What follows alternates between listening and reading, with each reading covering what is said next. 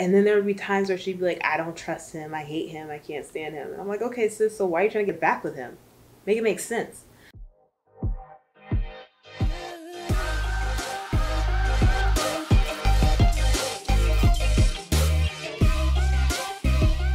Hello, everybody, and welcome or welcome back to my channel. I am Anastasia the Black Bookworm, and today, as promised, I'm here because I finished Exodus.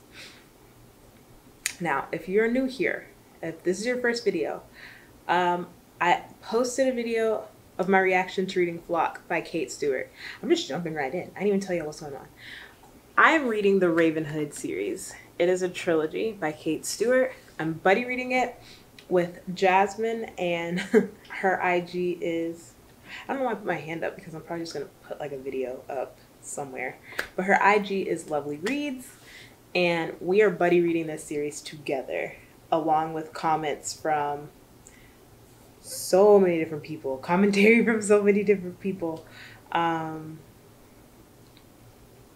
this has been a journey. A journey. Now, I started reading these books um, because I saw some YouTubers and booktubers and like book talk people talking about it. And the general gist of what I got was like, you're going to be lost throughout the first book. Your heart's going to break in the second book. And it's going to be put together again by the third book. And sorry, y'all, I just feel like I have hairs on me, the itch. Um, I can say that for book one, I was lost. if you have not, again, please go watch that video so you kind of have more of an understanding of how I'm coming into this video. Um, to let y'all know my, I would say raw reaction, but I finished that book at midnight last night. So I went to bed and I'm now telling you guys like 14 hours later, 15 hours later. Um, but it is what it is. It's still like set Will there be spoilers? I'm gonna say spoiler alert. I'm gonna try not to spoil anything, but I just just in case there might there might be some spoilers. I'm trying my best for there not to be, but there might be some. Y'all warned me. When I say y'all, I mean the people that probably will never see this. Y'all warned me. Y'all said this book was gonna break me. And I was like, okay, whatever. Y'all just being extra. Y'all weren't I broke several times. I broke so much reading that book. So, so, so much. Um, let's see. Let's see. This book is about you learn who the Frenchman is. Um, and he pretty much keeps Cecilia like captive and like I said, book one, you're completely lost. And book two, you get an understanding of like what is going on and why um, Sean and Dom were acting the way they were in book one. Um, and you learn that their actions and like their personality traits are kind of like, I guess, like the amalgamation of who the Frenchman is, just so that they could kind of prepare her to meet him. And he sounds hot. Mm. His name is Tobias. He he's hot. It is what it is. and this book, when you read the first book, the prologue is like the present day. And then you go back like six years. I don't know why I thought it was nine. You go back six years into the um past. Or is it nine? I don't know. You just go. You go back far into the past. Um, and all of book one just takes place during the past. Book two, half of it is in the past, half of it is in like the present day, and you learn that basically what's going on with the Raven Hood. I don't even know if they refer to themselves as that, but what's going on with the Ravenhood is that they are kind of like a bunch of Robin Hoods that are like taking down the rich corporate um, powers that be and giving that money to like the small business owners and people that actually truly deserve it. And so you just you see these people that occasionally will do drops, which is like they'll go to and I think this happened in the first book. I don't know if I forgot to mention it. Well, I didn't know it was important. um, they'll go to different restaurants and not restaurants, businesses in their town occasionally.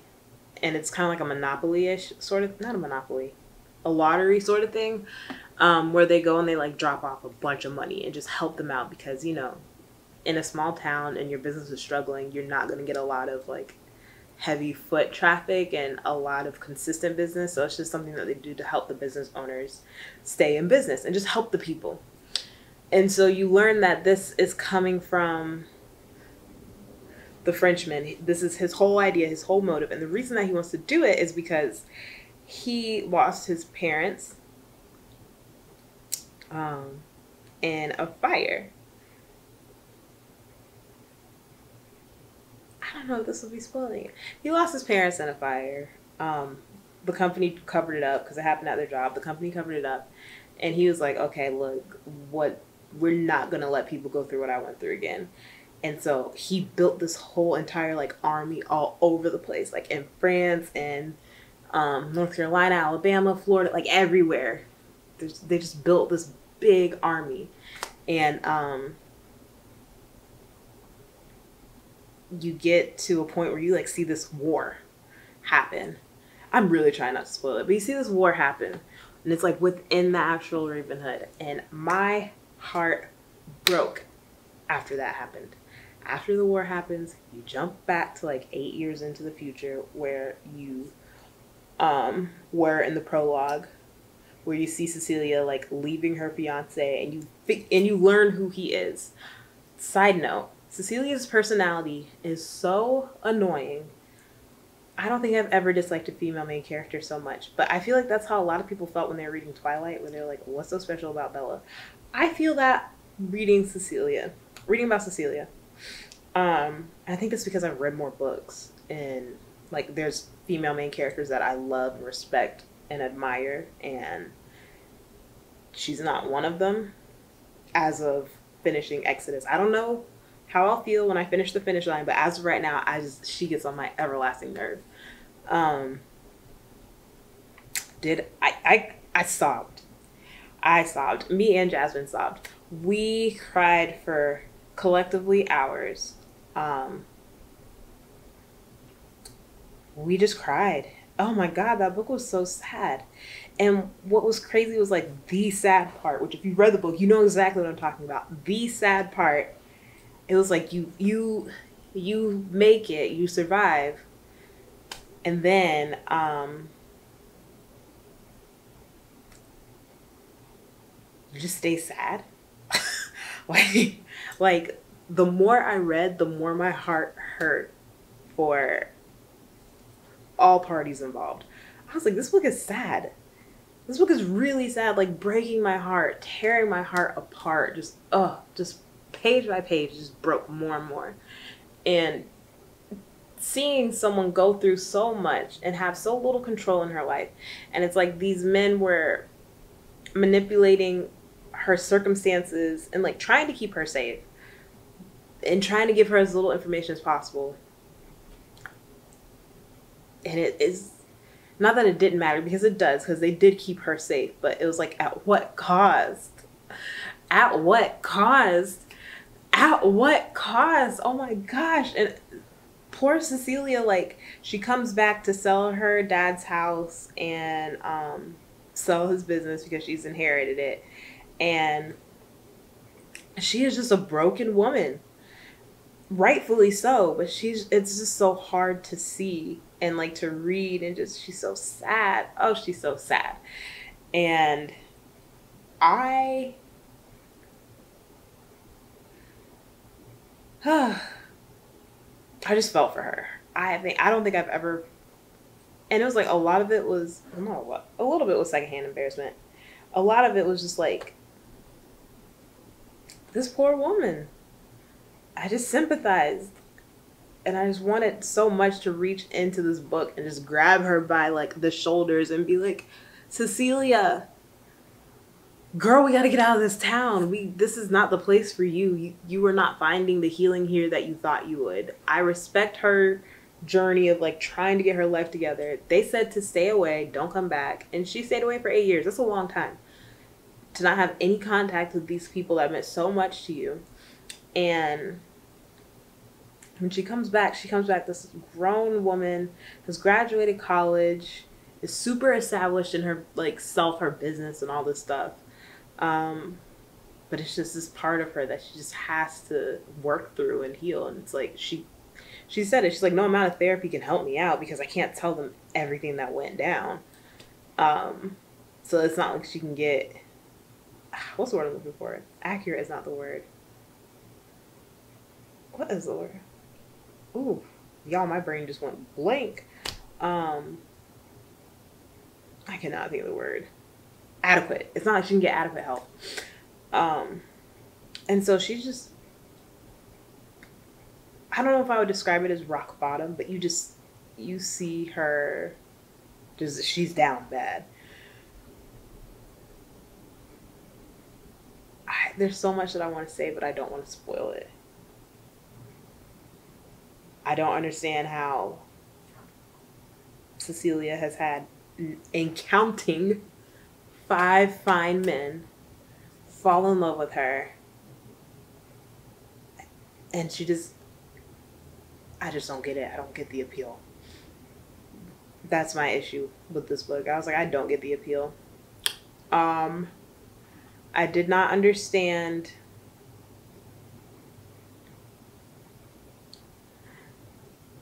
I didn't understand a lot of like her motives. Like I did, but a lot of it also at the same time like would not make sense. She would she would say like she would talk to Tobias and like confess her love and talk about how he loved her too. And he was like, Move on, girl. It's been eight years. Like, you need to leave. You don't need to come back. And then there would be times where she'd be like, I don't trust him. I hate him. I can't stand him. And I'm like, Okay, sis, so why are you trying to get back with him? Make it make sense. Like that stuff like that was it was just very wishy washy, and I just was not a fan of it. And I didn't tell y'all I rated this book three stars. Only, well, not only. There's two main reasons. I have to sneeze. okay, excuse me. The first reason was was grammatically. It was written in a way that was very odd. Like and I just noticed with all her books, I cannot tell who is speaking. And there's grammatical rules to follow so that the reader is not lost. And I was like, I just feel like this was not, I don't know who edited this, but we could have done a lot better with the way that she formatted her writing. Um, oh, I love grammar, love it. So that bothered me. Lastly, he did not grovel enough for me at the end. Chapter 52, I was like, okay. Okay, cool. Where's my groveling? It was just very like, she was like, I'm going to put you through hell. And he was like, okay, I expect it. And that was that. And I was like, what? this man for eight years and eight months put you through the fire and you're just like, okay. I didn't get it. I didn't like it. Now, having said that, and having already rated it, I read the author's note for the finish line, and I see that this was intended to be a duet, and the finish line started off as like an extended epilogue, and then it ended up being an entirely new book. Um, and so I know we're going to get more of like how they actually move past this. Um, but just taking the book for face value, that I think it was smart of her to write a third book that shows more of the work that he had to put in to get back into her good graces because ending it with that after everything that they went through in my opinion would not have been the best idea because um, I can't imagine there not being a third book. I would hate this series because I'd be like, what in the world did I just read and why did I go through that for no, for like no payoff? So that's why I gave it three stars. Would I recommend it? I'm gonna say the same thing I said last time. Yeah, because it's just a journey. It's just been a journey. Um, I would just recommend buddy reading it so you don't have to go through this journey alone. Um, there's a whole lot of people I've learned that have, which I knew read this book, but a whole lot of people that are like dying to talk to someone about it. And so if you're gonna read it, you can find someone. I think last video I was like, good luck trying to find a buddy read to read this book. Like it's gonna be, it might be hard, but you know, do it. I, I'm learning. I think it'll be easier than I thought. So I would say read it. It's available on Kindle Unlimited. All three books. That's how I've been reading them. Um, and do I have any predictions? I think we're just gonna get a regular, regular romance for the finish line. Um, learning more about Tobias and getting the happily ever after that like they both deserve, but not so like quick like they tried like she tried to do in chapter 52 i don't think it's gonna be like that i think it's gonna be like a longer process of how they can actually be together because they have a lot of love for each other. They went through a lot of stuff together. Um and i can understand how like nobody will be able to love them the way that they can love each other because of their past experiences. And at the same time he still has a lot of work to do.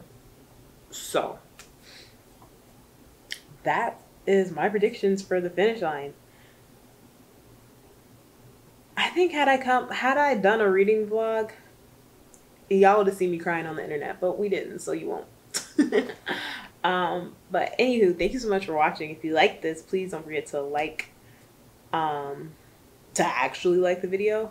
Comment below if you've read the book. If you haven't read the book, I like talking to y'all, so just comment below because I like talking to y'all and I like reading your comments. Um will we get a thumbnail? I think we already have. I'm sure I made a face somewhere in here that I can just be like, mm, that's how I feel. Thumbnail. But yeah. Um, turn on those post notifications, subscribe, comment. I think that's everything I need to say. Y'all, my mind is just blown. I am still trying to figure it out. I was unwell after chapter 25. I was unwell. And so I'm finally putting myself back together. So y'all just have to bear with me. Because my heart was broken, but we're here. We're back. And I'm literally off to go read the finish line. I only did this video right now because I was like, I don't want to read too much into this book and be like, oh, like distort my actual reaction to Exodus. So now that this has been recorded, I'm gonna go read. And I hope you do the same. Bye!